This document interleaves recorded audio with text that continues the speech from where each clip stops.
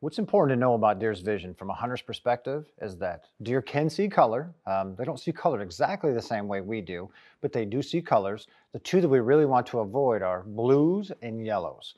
So the adage about I don't want to wear fluorescent orange because deer will see me is completely false because orange essentially looks green to them. However, they see blues really well, so it's fine to wear your fluorescent orange vest and be safe, but leave the blue jeans at home and leave anything that's yellow at home. So they see those colors very, very well. Also, what we want to know is it's not so much in the are seeing into those colors really good, but what they really pick up on is movement.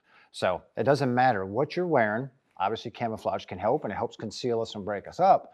But the thing, most important thing is make sure that we are minimizing the amount of movement because whether you're wearing blue, green, yellow, camo, or anything else, movement is essentially what deer's eyes are really keyed in to pick up on. So minimizing movement is far more important in a hunting situation than any specific color or camouflage pattern that you're wearing or not.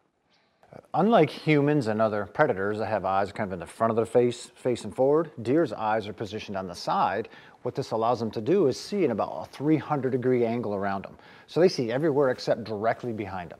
What that means from a hunting perspective is even if a deer is not looking right at you, if you move, there's a really good chance they're going to pick up that movement. And a lot of times what deer are doing is essentially the way they look, they see the scene in front of them and they're looking for anything to move.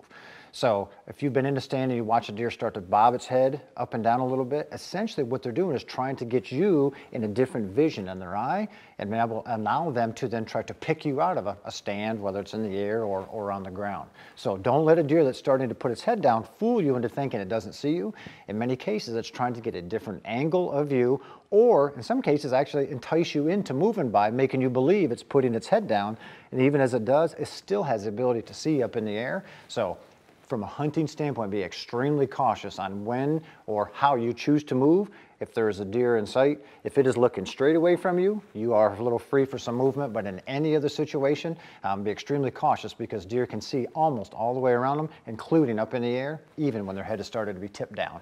One of the big differences between human eyes and deer eyes is actual depth of field. Um, we can take a look at something and focus exactly on a certain point. It allows us to be able to do that. Deer can't do that. Deer see in a real wide range and are extremely good at picking up that movement, but they really don't have any visual acuity. They can't cue in on a specific thing, and that's often why deer are watching and they will move their head, they may bob, they're getting different angles of the exact same thing because they are giving up that visual acuity to be able to have a much wider range of vision that they can see, which is very common in all prey species. One of the things that I'm always cognizant of when I'm setting up a stand is trying to break up anything behind me or doesn't allow my body to be highlighted or skylighted if a deer is looking in my direction. If you're on the ground, this may be selecting a, very large tree or a blind material behind you, such that you can get away with some movement without being really uh, viewable to deer. Um, some people get so carried away with trying to obstruct something in front of them and forget about what's behind them. But if you just turn that for a second, whether you're in a tree stand or from the ground and think about break a wall behind you so it can break up your body or any movements, you will fool the eyes of a lot more deer this season. One thing too that what deer vision is really plays into their favor from a hunting perspective is that they see the best in very low light situations because they can really see into the UV field. So what that means is they see extremely good at dawn and then again at dusk. Then deer are crepuscular, which means they're most active at those two time periods, partly because that's when their vision enables them the best opportunity to see what's going on around them. And as hunters, we often think about this in the morning, you know, it's starting to get daylight, so we're very cautious. However, at night, we forget about, you know, as it starts to get dark and we can't see as good, we need to realize that then deer are seeing extremely well.